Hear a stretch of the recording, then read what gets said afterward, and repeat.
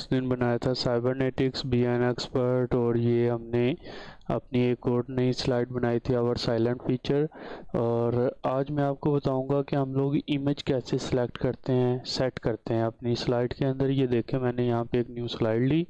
New side लेने के बाद मैंने यहाँ पे आ, मैं आपको थ्री मेथड्स हैं मैं आपको दो बताऊँगा। यहाँ पे ये देखें एक तो ये पिक्चर है इस टैब के ऊपर ओपन किया।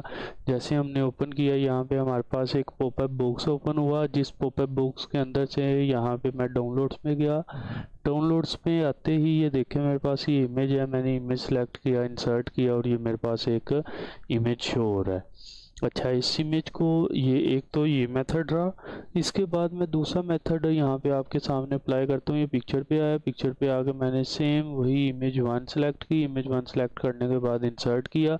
इंसर्ट करके मैं यहाँ पे ये देखे मेरे पास एक बिल्कुल आ, एक वही सेम पिक्चर आ रही है। इन सेम पिक्चर्स में से मैं यहाँ पे ये देखे, आपके सामने ये फ्रेम लगा दिया, उसका स्टाइल चेंज कर दिया। यहाँ पे मैं उस पर थोड़ी सी ब्राइटनेस कंट्रास्ट वगैरह देखता हूँ देता हूँ उसे कि किस तरह से यहाँ पे ये देखें, कितना प्यारा व्यू बन गया मेरे पास।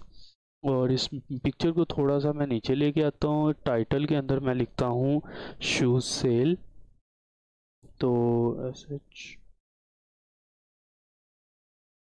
शू से लिखा। इसको मैंने किया सेलेक्ट करने के बाद मैं इसको कंट्रोल ई करके सेंटर में लेके आता हूँ। कंट्रोल बी करके इसको बोल्ड करता हूँ और इसका साइज़ थोड़ा सा इंक्रीज़ करता हूँ। ये आपके सामने हो रहा है। ये देखें साइज़ इंक्रीज़ हुआ। इसका मैं कलर थोड़ा सा चेंज करता हूँ डिफरेंट लेके आता हूँ। ये देखें जी, ये कितना प्यारी लुक आ रही है हमारे पास।